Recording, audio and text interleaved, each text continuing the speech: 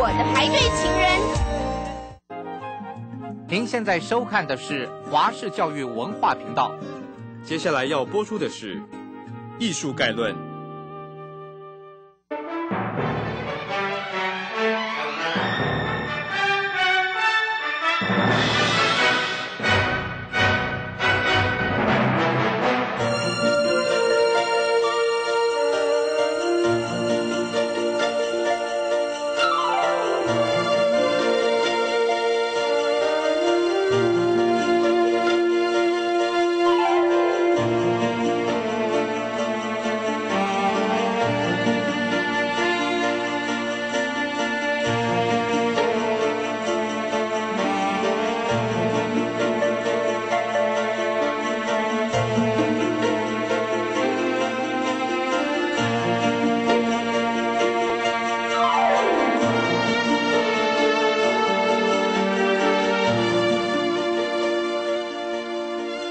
家好，《艺术概论》第七讲，今天要介绍的是浪漫主义黑社会画的掌门人戈雅。介绍戈雅之前，我们简单的跟同学提一下，什么叫浪漫主义？浪漫主义指的是18世纪末到19世纪中叶风行于欧洲的一个画派。呃，当时的欧洲产业革命兴起，法国大革命刚结束，人权思想呢？日益的发达，使得整个传统的秩序还有规范啊崩溃瓦解，社会动荡不安，因此形成对整个理性的反动跟对传统古典的啊一个颠覆，个人主义因此兴起。当时艺术家呢特别追求一种经验，一种很特殊的经验，也就是放纵这个直觉，呃跟激情。啊，所形成的一种疯狂的一种作风，呃，浪漫主义的绘画呢，它特别强调的是一个强烈的动势，也就是说，借着这个来凸显人的一种不安，还有困顿，啊，还有孤寂，以及啊一种呃非常的呃这个哀伤悲观的一种情绪啊，所以它在色彩的表现上呢，也特别的啊明暗对比强烈，笔触呢也比较奔放。啊，舒畅，题材尤其充满了这个戏剧性。当时呢，喜欢选用一些啊历史故事、宗教故事，或者是新闻事件里面啊有关战争的啊有关屠杀的，或者是冒险的海难的这些题材。他所画出来的呢场面，往往呢非常的惊心动魄啊，都是大场面的啊这种啊绘画，并且有一种异国的情调。对于远古的事件，或者是沙漠的风情呢，啊，一些冒险的故事啊，也特别喜欢琢磨。可以说，浪漫主义本身呢，就是巴洛克艺术的一种延续，啊，也是对古典艺术的一种反动。那我们现在呢，来跟大家介绍戈雅。戈雅呢，他出生于西元一七四六年，卒于西元一八二八年，他非常的长寿啊，活了八十二岁。啊，他可以说是西班牙近代艺术里面的一个开创者，呃，他也被赞颂为画家中的莎士比亚啊。他的绘画呢，可以说是把十八世纪风行的洛可可风啊发挥到最极致，也可以说把浪漫主义的绘画呢奠定了一个很好的基础，并且呢，开启了西班牙啊所谓的写实主义的啊一种画风。他被称为西班牙绘画里面的一个巨人，呃，他所以那么伟大呢？最主要是他虽然身为一个西班牙的宫廷画家，甚至是皇室的啊首席画家，可是呢，他还是非常的啊这个关心老百姓，歌颂这个平民大众，真实的反映出当时的社会及时代的一个气息，而且揭露还有抨击当时社会的一个黑暗。以及西班牙王室的腐败跟专制，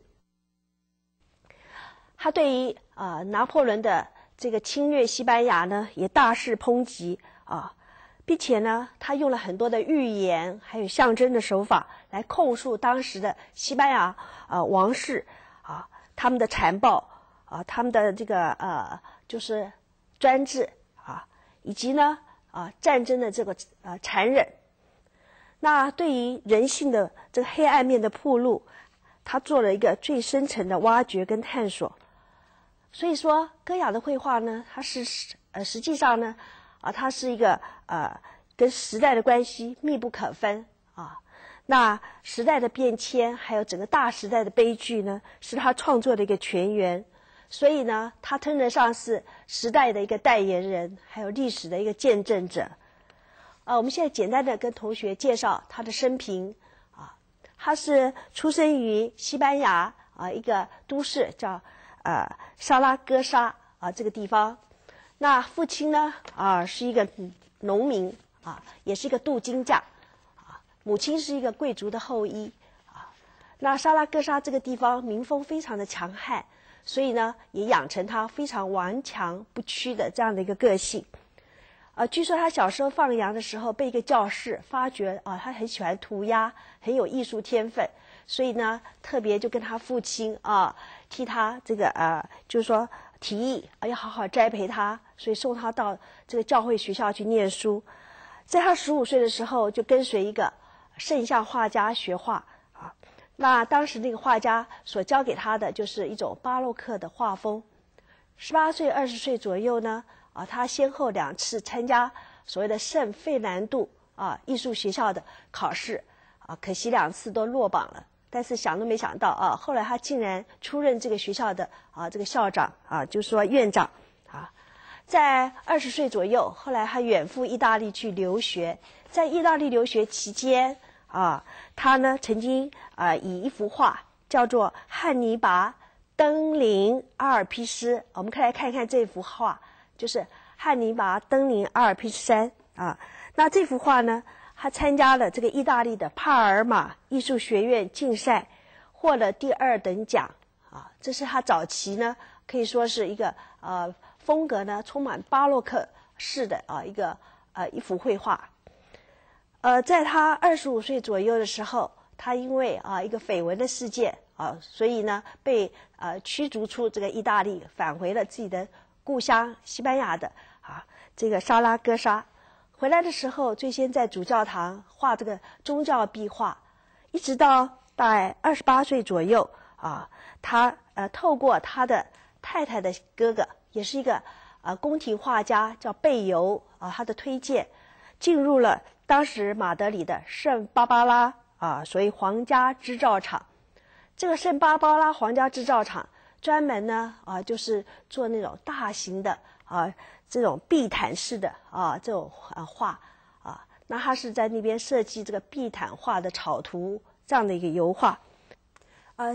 现在我们要跟大家介绍的是他的啊作品的风格特色以及作品赏析。戈雅的绘画呢，我们要一再的强调，它跟整个大时代的呃关系是非常的密切的，以及呢，他个人的健康情形呢，事实上呢，也影响了他的画风。啊，首先我们来看看，呃，从一七七四年到一七八八年，就是这十四年当中啊，也就是当时西班牙是由查理三世所统治的时代啊，那这个阶段他的画作是怎么样？查理三世呢？啊，当时的西班牙虽然不再像十六世纪是海上的一个霸权强国，但是呢，仍然是属于盛世。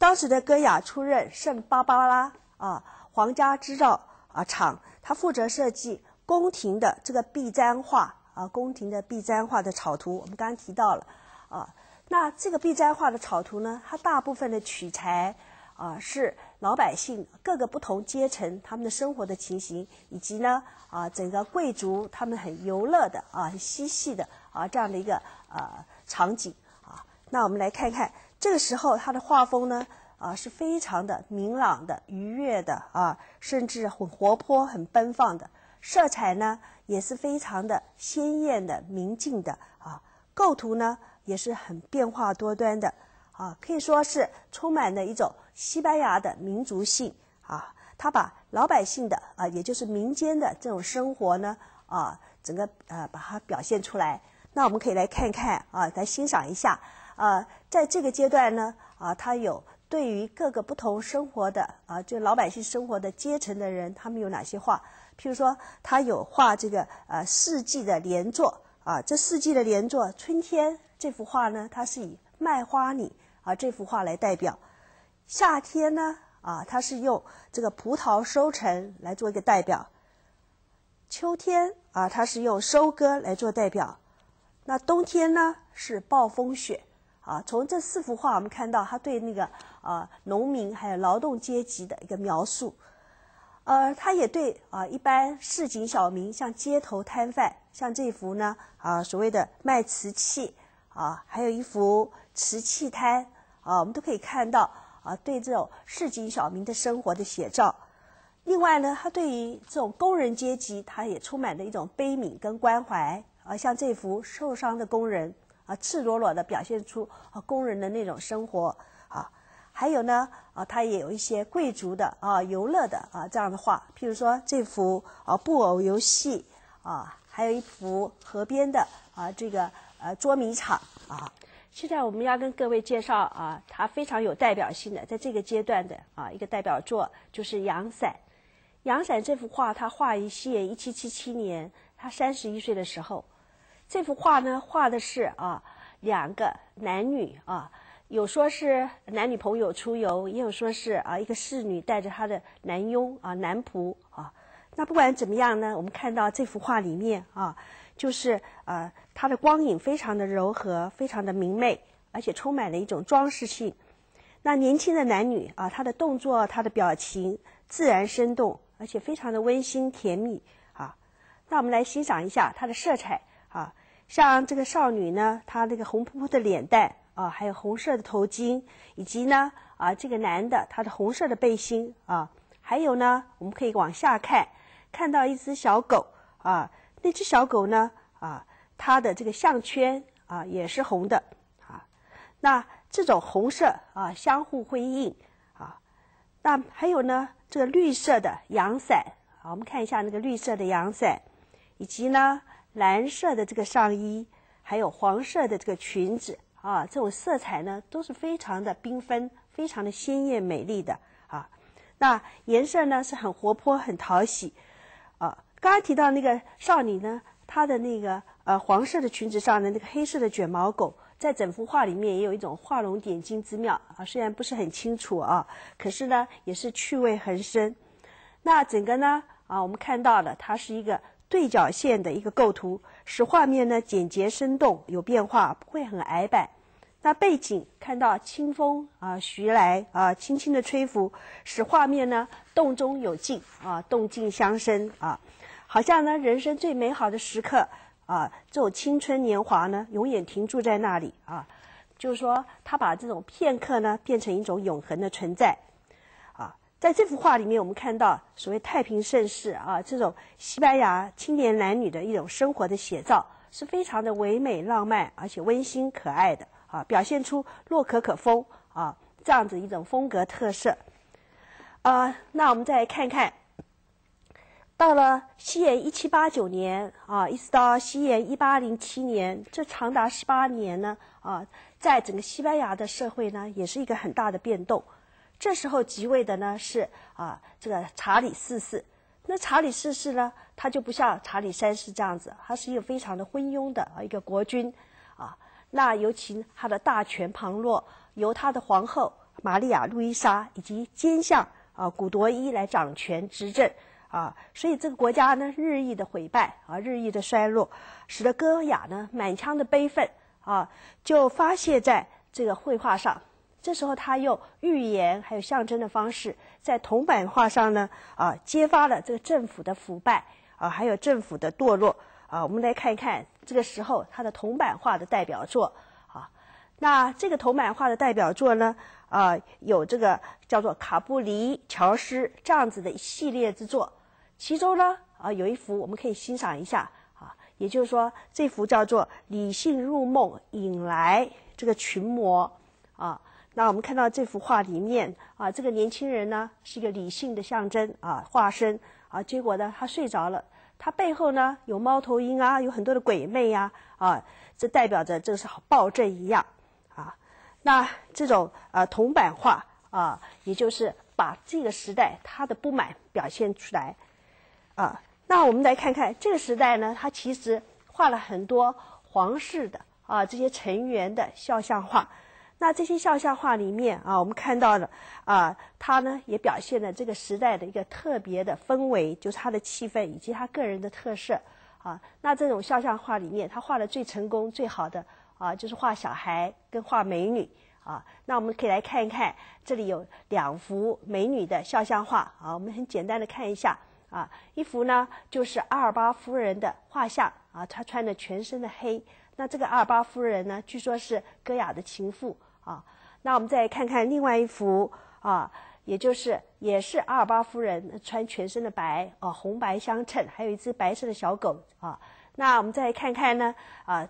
另外的啊这两幅啊，先看这一幅呢，就是裸体的马哈啊。那另外一幅呢，叫做穿衣服的马哈。那这两幅呢啊，画的都是同一个人啊，就所谓的马哈呢，在西班牙语里面是一种俏女孩啊，俏女郎。也就是美女啊、名媛呐、淑女啊这样的一个泛称，但是也有一点点啊，就说贬的意思啊，就说这种女孩子都是爱慕虚荣的啊。那不管怎么样，这两幅画呢啊也是非常的有趣的啊，就是说啊，竟然构图啊完全一样，只是一个穿衣服，一个没穿衣服啊。那另外呢，我们来看一看，还有一个小男孩啊，这个是一个马努尔小伯爵像。那这个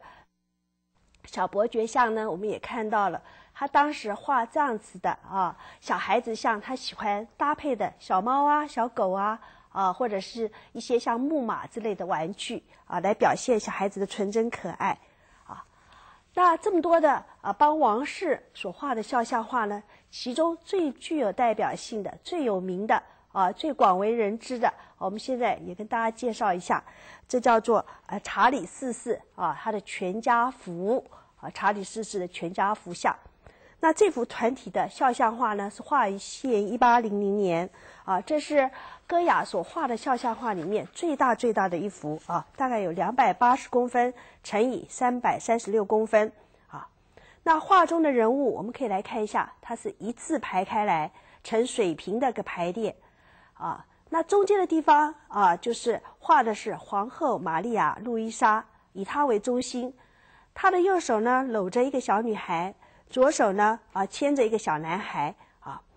那呃这两个孩子呢其实都不是他的小孩啊，就是那个奸相啊这个古多一的孩子，所以好像也看出来皇后跟这个奸相之间的关系呢啊蛮暧昧的啊，非比寻常的这样的一个关系啊。那皇后当这个画面的中心点，两边呢啊各有其他的人。那我们现在看看这个皇后，她把它画成什么样子？哎，这个皇后呢，啊，她的这个脸呢，微微的扬起啊，下巴抬起来。那我们也看到很明显的双下巴啊。那双下巴上面呢，她的嘴唇呢，啊，很单薄，而且呢，看起来呢就很刻薄的样子啊，呃，也显现出呢，她非常傲慢啊，非常骄横啊这样的一个个性。那他的全身上下呢，可以说金光闪闪啊，珠光宝气的啊，甚至可以说真的是蛮俗不可耐的啊。但是呢，啊，这样子好像跟那个查理四世刚好成一对，因为查理四世呢，啊，这样子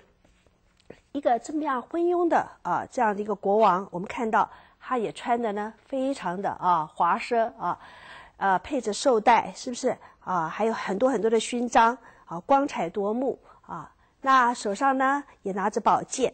可惜啊，虽然画的呢，哎，穿的那么漂亮啊，但是他脸部的表情却显得非常的呆滞啊，甚至呢还被人家讥笑说像一只大公鸡一样啊。那我们看到啊，他们两个呢是画面的一个中心点，那两边呢各有一些啊他们的啊就是说儿女啊亲人啊。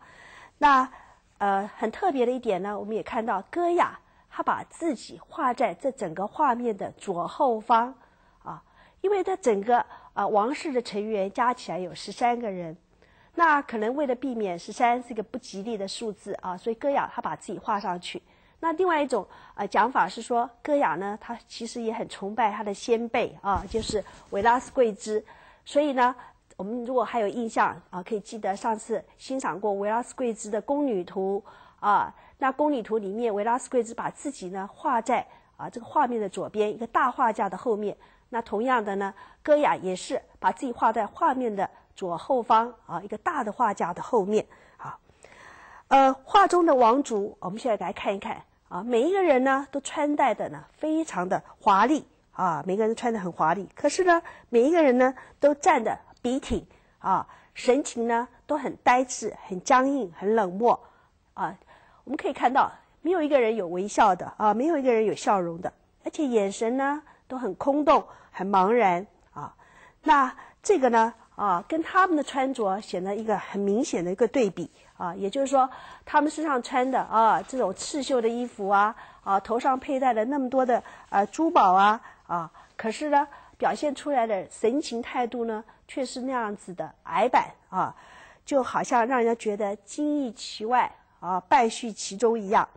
所以啊，歌雅呢，它可以说是用一种非常的具有讽刺的意味啊，反讽的这样手法来表现。那他也是用写实主义的一个手法啊，很技巧的呢，把查理斯四世他们一家子啊这样的一个虚伪造作，甚至装腔作势、自以为是啊、傲慢无知啊表露无遗。可以说，在这样一幅画里面呢，它是寓嘲讽与写实啊。呃，一八零八年到一八一四年啊，这个阶段呢啊是呃它不同于前面阶段的啊。呃，画风，因为这个时候是拿破仑的军队呢大举入侵西班牙，啊，废了西班牙的新王腓迪南七世，而且立了拿破仑的兄弟约瑟夫为西班牙国王，西班牙呢沦为异族的统治，啊，人民呢揭竿起义，遭法军的镇压跟屠杀。那这一页的史实呢，我们可以从他一幅非常非常有名的画，啊，就是啊这个一八零八年五月三日这幅画看出来。那事实上，这幅画呢，跟另外一幅画就是五月二日是姐妹作啊，跟五月二日。那五月二日这幅画呢，啊，他画的是起义，也就是啊西班牙人的抗暴。但是五月三日这幅画呢，却是法军对人民啊起义的一个啊镇压啊。我们来看一看这幅画。那这个镇压呢，是带有一种报复的性质，画的是西班牙起义的人民被法军俘虏。然后被枪杀的一个很悲壮的场面啊！我们看到这个整个画面上有一个刑场，这个刑场是在马德里近郊一个叫比耶王子山的山脚下。它整个背景呢啊是一片漆黑的天空，远方呢是暮色笼罩的马德里的王宫还有教堂。那中景的地方呢，它有被光照亮的一个小土坡啊，勾出了一道哎这个画面上的对角线。使这个画面上显示出啊壁垒分明的两部呃两边的人，我们看看左边，左边呢画的就是起义的这个人啊这些人，右边呢啊就是枪击手呃也就是所谓的刽子手一样啊他们相互的对峙，那这些枪击手呢啊我们来看一下，他们一字排开，身上背着背包，头呢戴着啊桶状的军帽，拿着方头的。军刀啊的这种步枪，然后身体围攻，向前瞄准起义者，啊，那他只画侧面平行排列的腿，还有身体，还有枪，并没有画他们的脸，啊，这有一种象征的意味，就是暗喻他们呢不过是一群杀人的机器，啊，是没有血肉的，啊，所以色调呢非常的灰暗深沉，啊，也是一种侵略者的象征。那另外呢，我们来看看左边的起义者。强光呢照在他们身上啊，那跟那个枪击者呢刚好形成了光明跟黑暗的一个对比啊，也是抗暴争自由和恐怖屠杀的一个对比。我们看到起义者啊，这有几个啊比较明特别的啊这个人物，中间的这个呢啊就是跪在最前方，穿着白衣服，然后黄裤子，双手张开啊，就像基督耶稣被钉在十字架上面的那个模样啊。那他的右手呢，手掌心呢，还可以看到有像那个基督的那种啊钉痕啊，所以他其实呢就像基督一般啊。那他的眼睛呢瞪得大大的啊，神情非常的激昂，充满一种大无畏的精神啊，有一种基督呢临死不惧啊这样子的一种感觉。那呃，仿佛呢他对这个暴行呢也做了一种无声的那个呐喊。他被塑造成一个民族的英雄跟基督的殉教者啊，一种综合体。那这个白衣服啊的人的右手边呢啊，有一个人，哎，这也是样子很激愤、很紧张啊，握紧双拳啊，那呃，仿佛呢也是在做一种无声的抗议。啊，他的右下方我们看到一个穿灰衣服的光头的啊，这个教士，他呢是圣方济教会的教士，正在做最后的祈祷和礼拜。呃，我们看看最下面的地方呢，啊，就是近景的部分啊，有一群倒在血泊中的啊，这个死者，他们有人躺着，有人趴着，有人堆在一起，啊，一片猩红，更烘托出大屠杀这种很壮烈、很紧张、很恐怖的这气氛。那这幅画呢，可以说是法国侵略西班牙的一个铁证啊。那他把侵略者的残酷以及抗暴者的那种英勇事迹呢，啊。这个很真诚的啊，也很写实的把它画下来。那我们来看看这幅画对后世的影响。有几个画家呢，也是啊，根据这幅画的构图做了几幅呃很有名的画作。第一幅我们先来看一看啊，也就是在印象派时代的马纳他所画的处决啊这个墨西哥皇帝麦西米伦。那另外还有啊，我们来看毕卡索的。韩国大屠杀啊，呃，还有另外这幅啊，一个巴拉啊，他所画的啊，这个戈雅啊，一九七一五月三日，这些呢构图呢都是跟啊五月三日非常的相近哈。啊，我们先来看他晚年的代表画风，就是所谓的黑色绘画。那为什么称为黑色绘画？它的形成呢，最主要也是跟他的健康的情形以及当时的时代背景有很密切的关系。他的健康呢，在他四十六岁左右，因为得了一场热病，从此呢，啊，他有耳聋的毛病，而且这个病情蛮严重的，啊，常常反复的发作，造成他心情的一种郁闷。再加上呢，啊，在一八一四年，约瑟夫拿破仑被赶出了西班牙，啊，那新的国王腓迪南七世即位，当这个新的国王呢，比啊以前的国王更加的啊这个集权专制，所以造成他内心的一种啊激愤。因此呢，啊，他就在他七十三岁的那年，一八一九年，在马德里的近郊啊，一个山庄啊，叫做极静山庄，也就是所谓的龙子之家。他买了这个别墅呢，在这边啊，沉潜了四年啊，在这个墙壁上啊，做了十四幅啊，这种背景呢，非常的啊黑暗恐怖的啊这种画啊，叫做黑色绘画。那这个黑色绘画呢，可以说是异于常轨。啊，那恐怖狰狞怪诞到了空前绝后的地步啊！画的呢，简直就是人间的炼狱一样啊！是一种他苦闷的象征，也是他呃一种抑郁的啊一种宣泄。可以说完全没有欢乐，只有悲观绝望啊！仿佛呢已经濒临死亡的绝境。整个画面上我们看到的就是以黑色作为主调，不论是人物啊、背景啊、气氛啊，都是黑的。啊，要不然就是暗褐色、暗黄色、深绿色，啊，来辅助作为光影。